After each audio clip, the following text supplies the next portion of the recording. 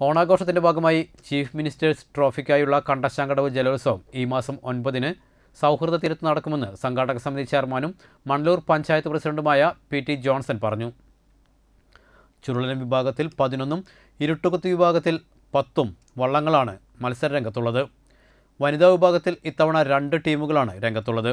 പതിമൂന്ന് പേരടങ്ങുന്ന സംഘം പ്രദർശന മത്സരമാണ് നടത്തുക. നീന്തൽ മത്സരവുമുണ്ട്. കുടുംബശ്രീകളുടെ നേതൃത്വത്തിൽ ഭക്ഷ്യമേളയും ആരംഭിച്ചു. ജലോത്സവ നഗരിയിൽ പോലീസ് അഗ്നിരക്ഷാസേന മെഡിക്കൽ സംഘം ആംബുലൻസ് എന്നിവയുടെ സേവനം ലഭ്യമാക്കിയിട്ടുണ്ട്. സൗഹൃദ തീരവികസനത്തിന്റെ ഭാഗമായി കുടിവെള്ള ലഭ്യത ഉറപ്പുവരുത്തുന്നതിനായി മണലൂർ പഞ്ചായത്ത് ആറ് ലക്ഷം രൂപ ചെലവിൽ വാട്ടർ എ ടി എം സ്ഥാപിച്ചിട്ടുണ്ട്. പന്ത്രണ്ട് ലക്ഷം രൂപ ചെലവിൽ ടോയ്ലറ്റ് സംവിധാനവും കുട്ടികൾക്കായി പാർക്കും ഒരുക്കിയിട്ടുണ്ട്. കണ്ടശങ്കട ജലോത്സവ പവലിയൻ ദീപാലങ്കാരം നടത്തി. പവലിയനിലേക്കുള്ള റോഡ് പതിമൂന്ന് ലക്ഷം രൂപ ചെലവിൽ ടൈൽ വിരിച്ച് സൗകര്യം ഏർപ്പെടുത്തിയതായി standing committee chairman Shoy Narayanan Rakesh Kaniyamparambil Jalavahini boat club president Karthikeyan Simon Thekkath എന്നിവർ പറഞ്ഞു.